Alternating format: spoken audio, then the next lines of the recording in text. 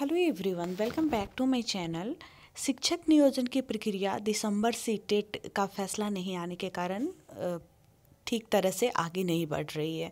मतलब उसमें सबसे बड़ा यही चीज़ है कि इस पर फैसला आ जाएगा, उसके बाद ही सही तरीके से प्रक्रिया आगे बढ़ेगी या काउंसलिंग वगैरह का डेट आएगा सब कुछ।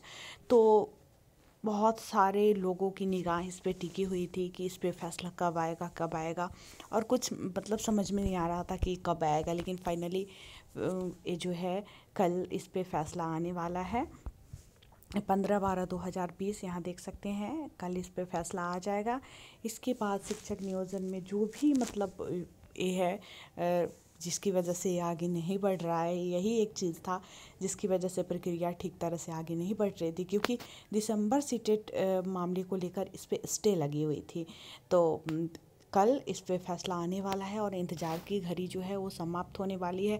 अब फैसला क्या आता है ये भी बहुत हद तक निर्भर करता है कि बहाली की प्रक्रिया किस तरह आगे बढ़ेगी। अब फैसला क्या आता है, देखिए, कल आज भर का ही मतलब ये है, कल तो इस पर फैसला आ ही जाना है।